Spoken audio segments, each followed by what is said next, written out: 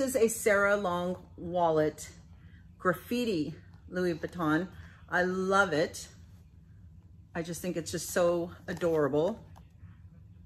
And so when I saw it, I thought I, I have to get it. And it's the envelope style wallet, the accordion envelope style, not the, not the trifold the bifold. Um, but this is, just thought it was just adorable and I had to get it. So